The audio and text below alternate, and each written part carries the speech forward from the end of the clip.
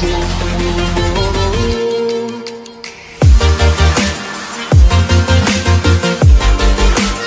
hello welcome to our channel. Exit పోల్స్తో YSR Congress నేతల్లో full జోష్ కనిపిస్తోంది. ఈసారి ఏపీలో ప్రభుత్వ మార్పు ఖాయమని జాతీయ మీడియా సర్వేలు ఎగ్జిట్ పోల్స్ ద్వారా ప్రకటించాయి. వైఎస్ జగన్ నేతృత్వంలో వైఎస్ఆర్ కాంగ్రెస్ పార్టీ ఘన విజయం సాధిస్తుందని తేల్చాయి. దీంతో ఆ పార్టీ నేతలు గెలుపు తమదేనన్న ధీమాలో ఉన్నారు. ఆ పార్టీ నేతల్లో ఇప్పుడు కొత్త చర్చ మొదలైంది. జగన్ మంత్రివర్గంలోకి ఎవరెవరికి స్థానం కల్పిస్తారన్న అంశాలపై జోరుగా చర్చలు జరుగుతున్నాయి. కీలకమైన శాఖలు ఎవరెవరికి దక్కుతాయన్న విషయంలో ఎవరికి వారు అంచనాలు వేసుకుంటూ పోతున్నారు.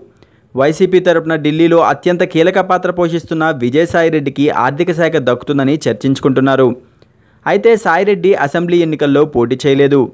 ఆయన రాజ్యసభ సభ్యుడిగా మాత్రమే ఉన్నారు. అయితే ఆయన్ను ఎమ్మెల్సీ కోటాలో మంత్రిగా తీసుకోవాలన్న ప్రయత్నంలో యువనేత ఉన్నట్లు సమాచారం.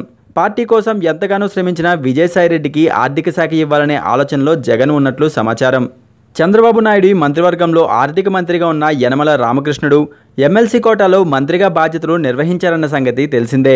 ఆయన తనయుడు నారా లోకేష్ కూడా ఎమ్మెల్సీ కోటాలోనే మంత్రి బాధ్యతలు అప్పగించారు. ఇప్పుడు విజయసాయిని కూడా ఎమ్మెల్సీని చేసి ఆర్థిక శాఖను అప్పగిస్తారని వైసీపీ పార్టీలో చర్చ నడుస్తోంది.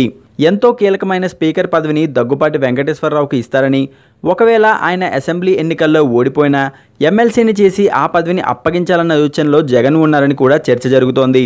స్పీకర్ పదవికి అంబటి రాంబాబు పేరును కూడా పరిశీలనలో ఉంచినట్లు సమాచారం.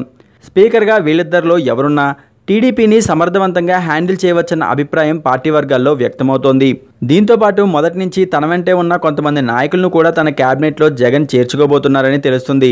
ధర్మాన కృష్ణదాస్ బొగ్గన రాజేంద్రనాథ్ రెడ్డి ఆర్కే రోజా ఆళ్ళ రామకృష్ణారెడ్డి కొడాలి నాని తదితరులకు పదవులు దక్కవచ్చని వైసీపీ నేతలు అంటున్నారు. ఈ వీడియో మీకు నచ్చినట్లయితే లైక్ చేయండి షేర్ చేయండి. మరిన్ని ఇంట్రెస్టింగ్ వీడియోల కోసం మా ఛానల్కి సబ్స్క్రైబ్ అవ్వండి.